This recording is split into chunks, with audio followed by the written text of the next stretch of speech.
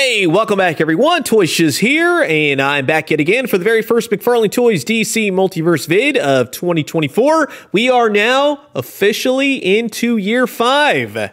Pretty crazy, right? But we have the brand new Target Gold Label exclusive Red Tornado. Target loves their red action figures, and yes, Red Tornado has a lot of red to him. Now, this is being billed as one of those DC classic figures, which I got no problems with. You get a nice photo of Red Tornado on the back, and here's the barcode if you want to head into store and look for him. But he is available on the Target app, and I will have affiliate links down in the description below if you want to go ahead and order him now. But in the meantime, this is going to be an absolute blast, so sit back, relax, grab yourself a nice hot cup of coffee. This is a look at the brand new McFarlane Toys DC Multiverse Target Store Gold Label exclusive Red Tornado.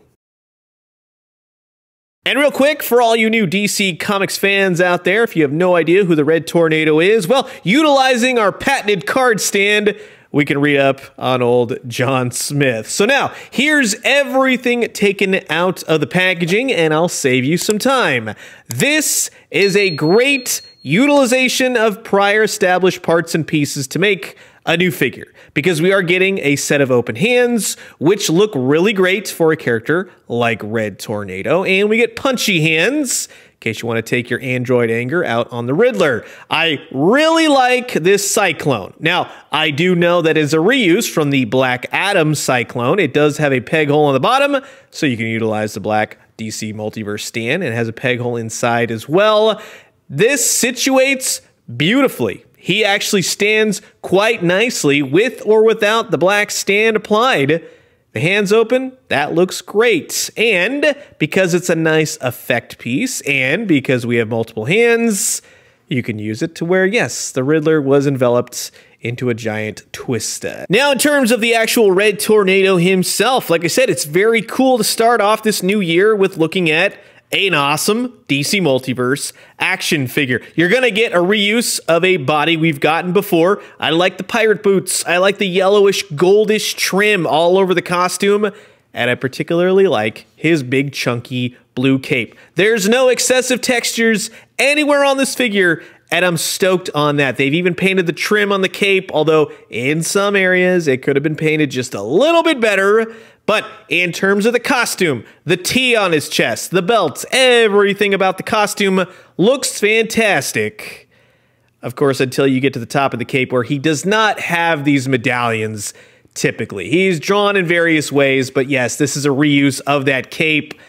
It was near perfect, but it's still a really cool figure, and you're going to get the same type of DC multiverse articulation out of him. Nothing crazy, legs kick out, although at this point, I really wish they would fix the color of that toe joint right there. The pin could be red.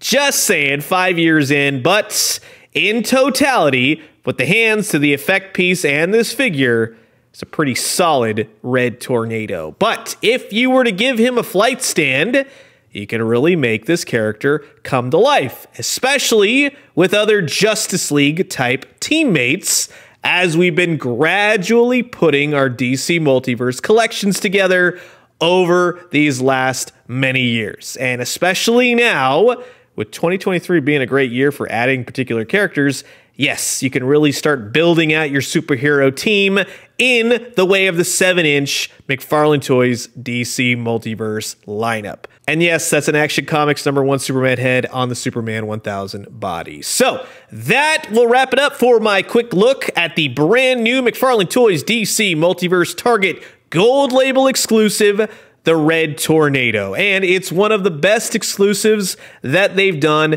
in a while because of the totality of the character. From the hands to the effect piece, showing powers, that's always great. The reds, the blues, the golds, minus a little part in the cape. Let's just see less reuse in 2024 and more just spot on amazingness for the DC Multiverse line. So you've heard my thoughts, and now I'm curious to know yours. Comment below, let me know. Let's talk everything Red Tornado.